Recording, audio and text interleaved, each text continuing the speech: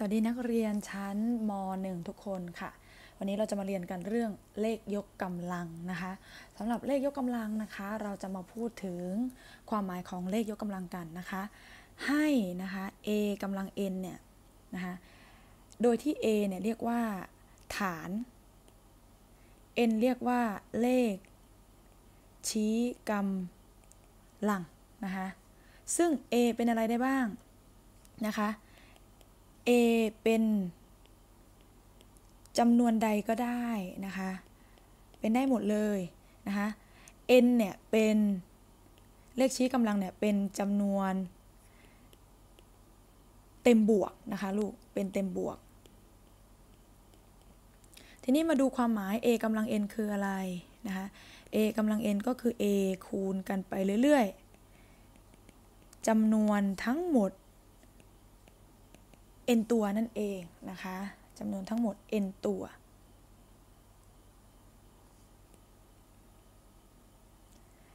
อะ ทีนี้มาดูยกตัวอย่างบ้างนะคะ อะ ยกตัวอย่าง 3กำลัง 4 3 ยกกำลัง 4 นะคะ 3 คือเลขฐานคือ a นะคะ n คือเลข 4 เป็นเลขชี้กำลัง เลขชี้กำลังบนหัวจะบอกว่าฐานจะคูณกันออกไปทั้งหมดกี่ตัว ดังนั้นคูณกันทั้งหมด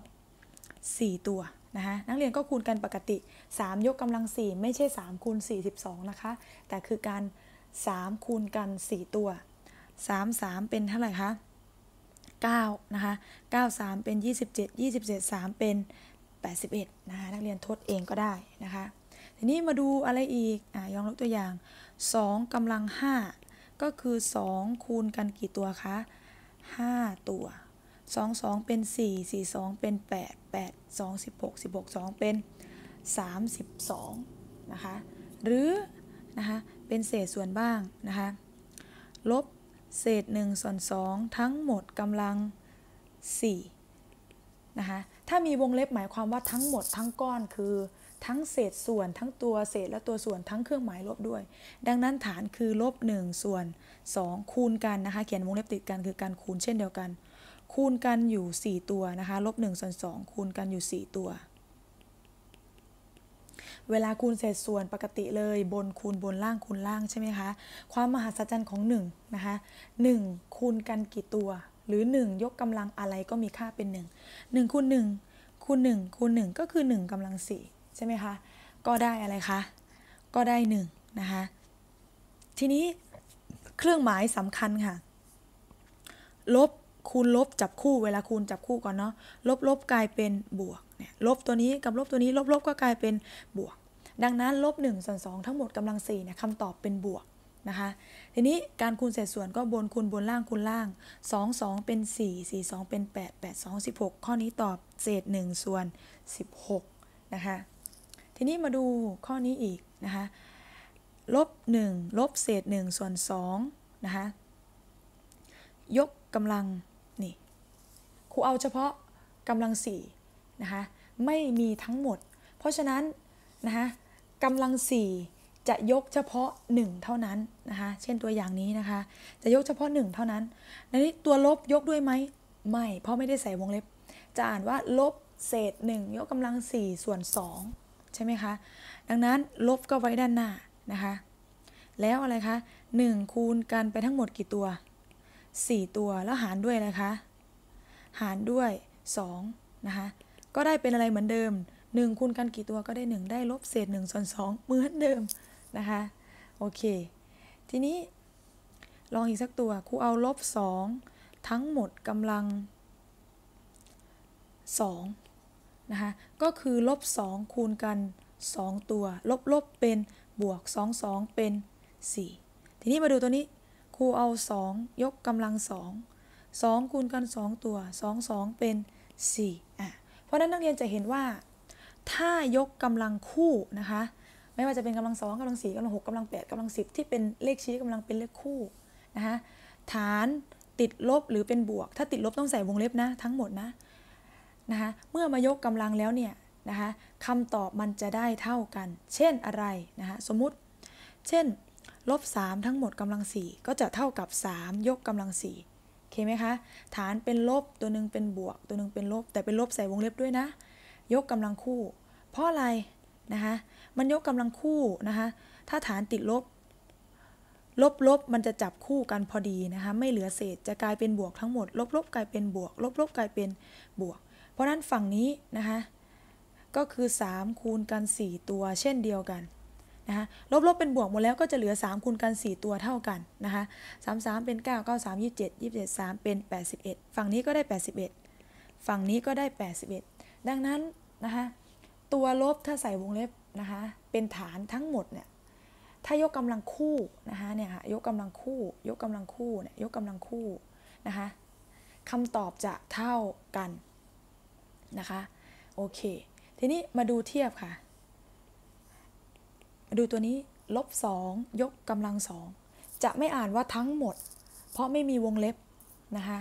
ดังนั้นฐานคือ 2 ไม่ใช่ลบ ลบเอาไว้ด้านหน้านะคะก็เป็น 2 คูณ 2 ตอบเท่าไหร่คะลบ 4 ดังนั้นไม่เท่ากันนะคะเนี่ยลบ 2 ทั้งหมดกำลัง2ได้ 4 แต่ถ้าลบ 2 ยกกำลัง2ได้ลบ 4 นะคะ การใส่วงเล็บไม่ใส่วงเล็บสำคัญนะคะ โอเคนะคะ แล้วเลขยกกำลังเหมือนกัน ถ้าไม่ใส่วงเล็บของเศษส่วนเนี่ยนะคะเนี่ยเนี่ยเหมือนข้อนี้ก็จะยกเฉพาะตัวนั้นเฉพาะตัว แต่ถ้าใส่วงเล็บนะคะก็หมายถึงว่าทั้งก้อนของวงเล็บนั้นนะคะเป็นฐานที่ยกกำลังนะคะโอเคนะคะทีนี้มาดูคอนเซปต์อื่น ๆ อีกนะคะที่นักเรียนควรทราบเกี่ยวกับสูตรใช่ไหมคะเมื่อนักเรียนไปเจอตัวนี้ค่ะ a กำลังลบ n ก่อนหน้านี้เราบอกว่า สูตรของมันคือ a กำลัง n n ต้องเป็นจำนวนเต็มบวกถึงจะบอกได้ว่า เลขชี้กำลังนะคะ จะเป็นตัวบอกว่าคูณกันกี่ตัว ใช่ไหมคะ เพราะนั้นมันต้องไม่ติดลบ ถ้ายกกำลังหนึ่งก็มี 1 ตัว ถ้ายกกำลังสองคูณกัน 2 ตัว เพราะนั้นเราจะเริ่มนับตั้งแต่ 1 ตัวเป็นต้นไป เพราะนั้นถ้ามันติดลบนะจะทำยังไง เราสามารถแปลงได้เป็นอะไรคะ กลับไปเป็นเศษส่วนค่ะ 1 ส่วน a กำลัง n ค่ะ อันนี้เป็นอีกสูตรหนึ่งนะคะนี่1ส่วน a กำลัง n อ่ามาดูตัวอย่างกัน เช่น 2 ยกกำลังลบ 3 ถ้า 2กำลัง 3 มันคือ 2คูณกัน 3 ตัว ทีนี้มันติดลบมันจะเขียนขยายออกไปได้ยังไงใช่ไหมเพราะนั้นเราก็ใช้สูตรนี้ค่ะ เปลี่ยนเป็นเศษ 1 ส่วน 2 ยกกำลัง 3 เพราะเลขชี้กำลังเป็นบวกเราเขียนขยายได้ ได้เป็น 2 คูณกันกี่ตัวคะ 3 ตัวก็ตอบเศษ 1 ส่วน 8 ใช่ไหมคะ อ่าโอเค อีกตัวอย่างหนึ่งนะคะเช่นอ่าลบ3ทั้งหมดยกกำลังลบ4อย่างเงี้ยค่ะ ก็แปลงได้เป็นอะไรคะ1ส่วนลบ3ทั้งหมดกำลังอะไรคะกำลัง4ก็ได้เป็น1ส่วนลบ3คูณกันกี่ตัวคะคูณกัน4ตัวนะคะ ลบลบเป็นบวก ลบลบเป็นบวก บวกคูณบวกก็ย่อมได้บวก ก็เอา 3 คูณกัน 4 ตัวเมื่อกี้เนี่ยลองคูณแล้วได้อะไรคะ 81 ใช่ไหมอ่าโอเคนะคะสำหรับสูตรนี้นะทีนี้อีกตัวหนึ่งนะคะที่ครูจะให้เพิ่มก็คือ a นะคะยกกำลังหนึ่งเนี่ยมีค่าเป็น a นะคะดังนั้นตัวเลขทุกตัวนะคะมีเลขชี้กำลังเป็น 1นะคะ เช่น8เนี่ยก็คือ 8กำลังหนึ่งแต่เราไม่นิยมเขียนเลขชี้กำลัง แต่ให้รู้ว่าคือยกกำลังหนึ่งถ้ากำลังสองเราถึงเริ่มเขียนก็คือคูณกัน 2 ตัวนะคะ ตัวเลขทุกตัวค่ะเนี่ยค่ะมีเลขชี้กำลังเป็น 1 หมดเลย 9กำลังหนึ่งได้ 9 หรือ 8 เท่ากับ 8กำลังหนึ่งนะคะโอเค ทีนี้มาดูนะคะการคูณเลขยกกำลังบ้างทีนี้ค่ะ สูตรต่อไปเป็นการ คูณเลข ยกกำลังนะคะคอนเซปต์เป็นยังไงนะคะการคูณเลขยกกำลังอ้าวมาดูนะคะคอนเซปต์คืออะไรนะคะ a กำลัง m คูณ a กำลัง n นะคะนักเรียนสังเกตอะไรเหมือนกันคะอะไรเหมือนกันเนี่ยค่ะฐานเหมือนกันนะคะคูณกันให้นักเรียนรวบฐานแล้วนำเลขชี้กำลังมาบวกกันนะคะเช่นอะไร เช่นนะคะลบสองกำลังสองคูณนะคะลบสองกำลัง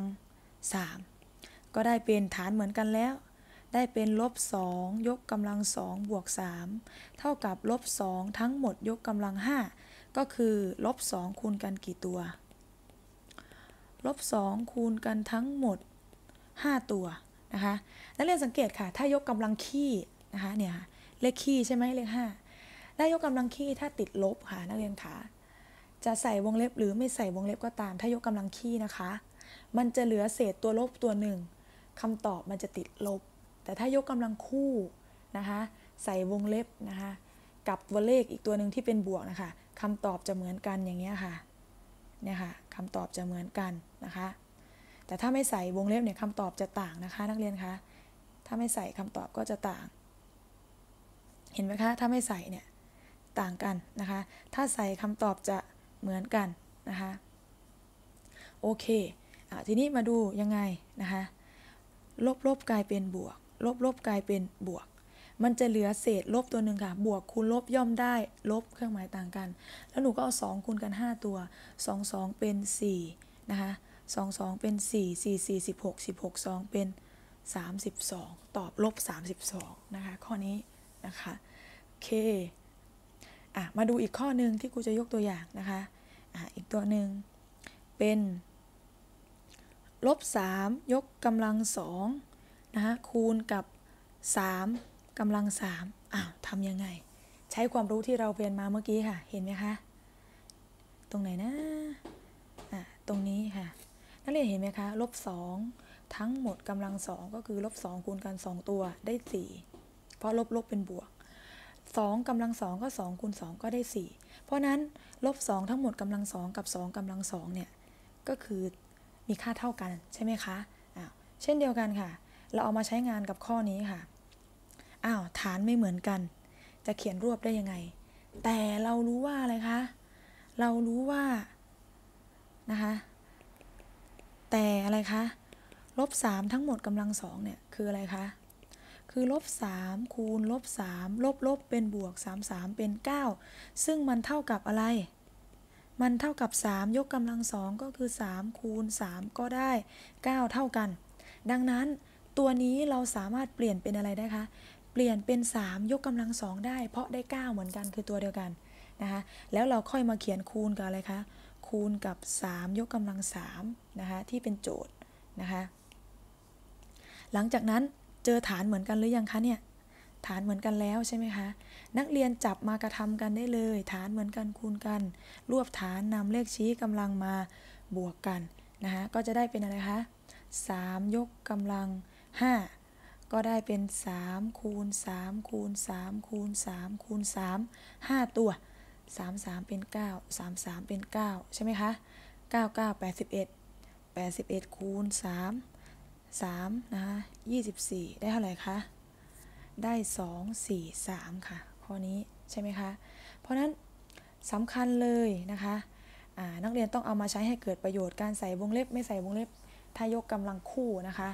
มันได้คำตอบเดียวกัน เช่นข้อนี้นะคะเนี่ยค่ะนักเรียนเห็นไหมว่าครูเปลี่ยนลบ3ทั้งหมดกำลังสองซึ่งมันได้ 9 เหมือนกันเนี่ย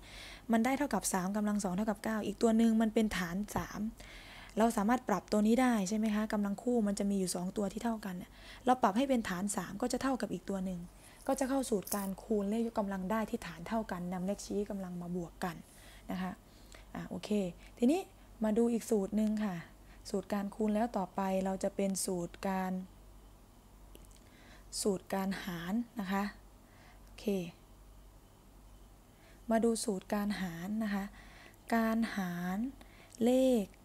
ยกกำลังนะคะพิจารณาคล้ายๆ กันกับการคูณค่ะ แต่มีแตกต่างกันนิดนึงนะคะดูที่ฐานฐานต้องเหมือนกันอีกเหมือนเดิม ให้ a กำลัง m หารด้วย a กำลัง n นักเรียนสังเกตไหมคะฐานต้องเป็นตัวเดียวกัน เมื่อกี้คูณนำเลขที่กำลังมาบวก ถ้าหารนักเรียนลองเดานำเลขชี้กำลังมาทำอะไรกันคะนำเลขชี้กำลังมาลบกันค่ะลูกนี่ได้แล้วค่ะ สูตรการนะคะ หารเลขยกกำลังนะคะฐานเหมือนกันหารกันนำเลขชี้กำลังมาลบกันแล้วรวบฐานเอาเช่นนะคะลบ 2 ยกกำลัง 5 หารด้วยลบ 2 ยกกำลัง 3 ฐานเหมือนกันหารกัน รวบฐานนำเลขชี้กำลังมาลบกันตอบลบ 2 ทั้งหมดกำลัง 2 ก็คือลบ 2 คูณกัน 2 ตัว ลบลบเป็นบวก 2 2 เป็น 4 ข้อนี้ตอบ 4 นะคะอ้าวอีกสักข้อหนึ่งนะคะลบ 4 ทั้งหมดกำลังสองหาร 4กำลัง 4อ้าวทีนี้มาดูมันจะเหมือนข้อเมื่อกี้นี่เลยนะคะเนี่ยข้อเมื่อกี้ที่เราปรับถ้ามันกำลังคู่มันจะปรับฐานเป็นบวกเป็นลบได้นะคะ ทีนี้เราปรับตัวไหนได้ ตัวนี้เราเราปรับได้ไหมคะอะเราจะปรับ ก็ได้เพราะอะไรคะ มันยกกำลังคู่ทั้งคู่ค่ะเนี่ยยกกำลังคู่ทั้งคู่ ตัวนี้ปรับเป็นลบ4ทั้งหมดกำลัง 4 ก็ได้ ก็จะเป็นฐานลบ4เหมือนกัน หรือจะปรับลบ4เป็น 4กำลัง 2 ก็ได้คำตอบจะเหมือนกันนะคะอ้าววิธีแรกนะคะ วิธีที่1นะคะครูจะปรับนะคะครูจะบอกว่าเนื่องจากลบ4ทั้งหมดกำลังสองเนี่ยมันเท่ากับ 4กำลังสองเพราะตัวนี้ก็คือลบ4 คูณลบ4ตัวนี้ก็คือ 4 คูณ 4 ลบลบเป็นบวก 4 4 16 อันนี้ก็ 4 4 16 มันเท่ากันใช่ไหมคะ ดังนั้นครูก็เลยจะปรับเป็นตัวนี้ค่ะเนี่ยลบ 4 ทั้งหมดกำลังสองปรับให้เป็น 4กำลังสองเพราะมันเท่ากัน ครูก็จะได้เป็น4กำลังสองหารด้วย 4กำลัง4ฐานเหมือนกันแล้ว รวบฐานนำเลขชี้กำลังมาลบกัน ได้ 4 ยกกำลังลบ 2 เลขชี้กำลังเราต้องทำให้เป็นบวกเราเรียนมาแล้วใช่ไหมคะ สูตรไหนเอ่ย สูตรนี้นี่นี่นี่สูตรนี้ a กำลังลบ n ติดลบ เอามาเป็นตัวส่วน 1 ส่วน a กำลัง n นะคะ เพราะนั้นก็จะได้เป็น 1 ส่วน 4 ยกกำลัง 2 ก็คือ 1 ส่วน 4 คูณ 4 เท่ากับ 1 ส่วน 16 นะคะ อีกวิธีหนึ่งค่ะ ทีนี้ วิธีที่2นะคะวิธีที่ 2 คือ ครูจะปรับค่ะปรับตัวนี้ค่ะ ให้เป็นฐานติดลบก็คือให้เป็นฐานลบ4ทำไมปรับได้ เพราะมันยกกำลังคู่กำลัง4มาดูกัน บอกว่าอะไรคะ เนื่องจาก 4 ยกกำลัง4เท่ากับลบ4ทั้งหมดกำลัง4เพราะจะปรับให้ฐานเป็นลบ4ค่ะทีนี้ ปรับได้ทั้ง 2 ทั้ง2ตัวเลยนะคะอะโอเค 4 ยกกำลัง 4 คือ 4 คูณกัน 4 ตัว ฝั่งนี้นะคะลบ 4 ทั้งหมดกำลัง 4 คือลบ 4 คูณกัน 4 ตัว 4 4 16 4 4 16 16 คูณ 16 เท่าไหร่คะ นักเรียนทดช่วยกัน 6 6 3 6 ใส่ 6 ทด 3 6 1 เป็น 6 เป็น 7 เป็น 8 เป็น 9 6 1 เป็น 6 1 1 ได้ 1 บวกกันได้ 6 ได้ 5 ทด 1 ได้ 2 5 6 ฝั่งนี้ลบลบเป็นบวก ลบลบเป็นบวก 4 4 16 4 4 16 ก็ 16 คูณ 16 ก็ได้ 2 5 6 นี่จึงเป็นที่มานะคะว่าถ้ายกกำลังคู่นะคะฐานจะเป็นตัวบวกกับตัวที่ติดลบแล้วใส่วงเล็บได้นะคะเพราะนั้นเราก็เขียนได้เป็นอะไรคะ จะได้ว่าไง โจทย์เราคืออะไรนี่ลบ4ทั้งหมดกำลังสอง โจทย์เดิม แล้วเราปรับตัวนี้ค่ะ ปรับตัวนี้ให้ได้เป็นอะไรคะลบ4ทั้งหมดกำลัง4นะคะเพราะมันเท่ากันเพราะฐานเท่ากันปั๊บรวบฐานนำเลขชี้กำลังมาทำอะไรกันนำเลขชี้กำลังมาลบกันได้ลบ4ทั้งหมดกำลังนะคะลบ2ก็ปรับเป็น 1 ส่วนลบ4ทั้งหมดกำลัง2 ก็ได้เป็น 1 ส่วนลบ 4 คูณกัน 2 ตัว ลบลบเป็นบวก 4 4 เป็น 16 ได้เศษ 1 ส่วน 16 คำตอบเท่ากันไหมคะ นี่ได้ 1 ส่วน 16 เหมือนกันเลยนะคะ แสดงให้ดูทั้ง 2 วิธีบางข้อมันปรับได้ทั้งคู่นะคะ เพราะนั้นนักเรียนอย่าไปตกใจถ้าเกิดไปเจอโจทย์ที่เฮ้ยฐานไม่เหมือนกันนะคะ แล้วเราจะใช้สูตรได้ยังไง ลองดูดีๆ ถ้ายกกำลังคู่ มันปรับได้นะคะ มันปรับให้เป็นฐานบวกฐานลบได้นะคะะทีนี้ถ้าเกิดไปเจอโจทย์ในกรณีนี้ เช่นนะคะสี่กำลังสามหารสามกำลังสองอ้าวฐานไม่เหมือนกัน เขียนรวบได้ไหมคะ ไม่ได้ ถ้าเป็นอย่างนี้นักเรียนก็หาตัวใครตัวมันแล้วค่อยมาหารกันค่ะนะคะไม่ต้องตกใจถ้าใช้สูตรไม่ได้ก็ ใช้ตามความรู้เรื่องเรียกลดกำลังปกตินะคะสี่กำลังสามคือ4คูณกันเท่าไหร่ตัวคะ3ตัวนะคะแล้วก็หารด้วย3กำลังสองคือ3คูณกัน2ตัว4 4 16 16 4เป็นเท่าไหร่คะ64หารด้วยอะไรคะ33เป็น9ก็ได้64ส่วน9นะคะโอเคเนาะถ้าตัดทอนลงตัวก็ตัดประมาณนี้ เพราะนั้นการที่จะมาเขียนรวบได้นะคะเป็นเลขกำลังเนี่ยนะคะฐานต้องเหมือนกันนะคะ เคเนาะอะโอเค ทีนี้ครูอยากให้มาดูที่มาว่าทำไมนะคะ มันถึงรวบเขียนอาอย่างเช่น การคูณเลขยกกำลังอะค่ะ การคูณเลขยกกำลังเนี่ยค่ะลูกทำไม a กำลัง m นะคะคูณ a กำลัง n มันได้เท่ากับ a กำลัง m บวก n นะคะเช่นนะคะ3ยกกำลัง4นะคะคูณอะไรคะ3กำลัง2เนี่ย ถ้านักเรียนเขียนขยายความ3กำลัง4คือ 3คูณกันกี่ตัว 4 ตัว แล้วก็มาคูณด้วย 3กำลัง2 3คูณกัน 2 ตัว ดังนั้นมันรวมกันเป็นกี่ตัว 3 คูณกัน 6 ตัว จึงเป็นที่มาว่าเรานำเลขชี้กำลังมาบวกกันได้ มันก็คือ 3 ยกกำลัง 4 บวก 2 ได้ 3กำลัง6นะนี่คือความหมาย ทีนี้มาดูถ้าเป็นการหารทำไมเอาเลขชี้กำลังมาลบกันนะคะ การหารเลขยกกำลัง a กำลัง a กำลัง m หาร a กำลัง n เท่ากับ a กำลัง m ลบ n ทำไมเอาเลขชี้กำลังลบกันนะเหมือนเดิมค่ะ 2กำลัง 6 หารด้วย 2กำลัง 2 2กำลัง 6 คือ 2 คูณกันกี่ตัวคะ 6 ตัว หารนะคะเขียนเป็นเศษส่วนก็ได้ใช่ไหมหาร 2กำลัง 2 2 คูณกัน 2 ตัว ตัดทอนกันได้ไหมตัดตัดตัดเหลือ 2 กี่ตัว เหลือ 2 4 ตัวก็คือ 2กำลัง4นะคะซึ่งถ้าเราใช้สูตรนำเลขชี้กำลังมาทำอะไรกันคะลบกันก็คือ 2กำลัง6ลบ2ก็ได้อะไรคะ2กำลัง 4 เท่ากันไหม เท่ากันนะคะที่มานะอะทีนี้มาดูอีกสูตรหนึ่งนะคะะมาดูอีกสูตรหนึ่งนะคะคือ a กำลังศูนย์มีค่าเป็น1นะคะโดยที่ a เนี่ยต้องไม่เป็น0นะคะเนี่ยเลขยกกำลังนะคะ ฐานเป็นได้ทุกตัวนะคะ อย่าลืมนะคะ เดี๋ยวครูบอกเพิ่มด้วยนะคะ แต่นะคะ และนะคะ ต้องไม่เป็นศูนย์นะคะ ถ้าฐานเป็นศูนย์ a เป็นศูนย์เนี่ยหาค่าไม่ได้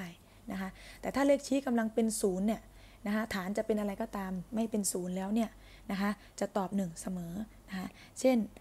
1,000หรือ 10,000 ก็ได้ ยกกำลังศูนย์เนี่ยจะมีค่าเป็น 1 เสมอ ตัวเลขทุกตัวนะคะ ยกกำลังศูนย์มีค่าเป็น 1 ยกเว้น ห้ามเป็นศูนย์กำลังศูนย์นะคะศูนย์เป็นฐานไม่ได้หรือศูนย์กำลัง5นะคะหาค่าไม่ได้นะคะทีนี้มาดูนะคะทำไมเป็นอย่างนั้นทำไมมันถึงได้1เกิดจากอะไรนะคะเอ่อ a กำลังนะคะมาดูนะคะอะครูเอาเป็น3กำลังสองหารด้วย3กำลังสองนะคะก็คืออะไรคะ3คูณกันกี่ตัว 2 ตัวหารด้วย 3 คูณกันกี่ตัว ถ้าเขียนขยายความใช่ไหมคะ แล้วเราตัดกันไหมคะ ตัดตัดตัดตัดได้อะไรคะ ได้ 1 ฐานเหมือนกันนำเลขชี้กำลังมาทำอะไรกัน มาลบกันก็ได้ 3กำลัง 2 อะไรคะ ลบ 2 ได้เท่าไหร่ 3กำลัง 0 ใช่ไหมคะ ซึ่งค่าของมันค่าตรงนี้ได้เท่าไหร่คะที่เราทำออกมาตามความหมายได้ 1 ดังนั้นนะคะจึงเป็นที่มาว่าอะไรกำลังศูนย์จึงมีค่าเป็น1นะคะ3กำลังศูนย์ก็จึงมีค่าเป็น 1 เช่นเดียวกัน เพราะมันเท่ากันใช่ไหม อันนี้ครูเขียนขยายความ3คูณกัน2ตัวหารด้วย3คูณกัน2ตัว คือตัวเดียวกันหารด้วยตัวเดียวกันนะคะมีค่าเป็น 1 อยู่แล้ว ซึ่งถ้าตามสูตรนะคะ a กำลัง m หารด้วย a กำลัง n นำเลขชี้กำลังมาลบกันใช่ไหมคะ เนี่ยรวบฐาน2ลบ2ได้0นะคะ ซึ่งเราทำขยายความได้ 1 เพราะฉะนั้นพอมายกกำลังศูนย์คำตอบก็ต้องเป็นยังไงคะ เท่ากันก็ต้องได้ 1 เท่ากันนะคะ อีกสูตรหนึ่งก็คืออะไรก็ตามยกกำลังศูนย์มีค่าเป็น 1 นะคะ